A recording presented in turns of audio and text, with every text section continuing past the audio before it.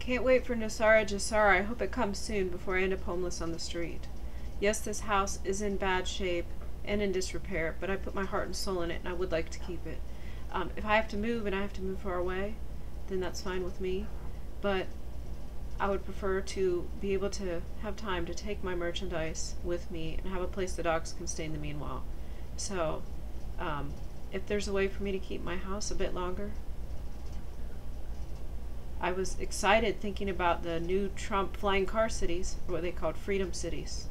I think in 2025 that uh, once Trump is elected, they're going to build new freedom cities with flying cars and no regulations. Exactly what I'm looking for. So I don't want to move until then and then have to move again.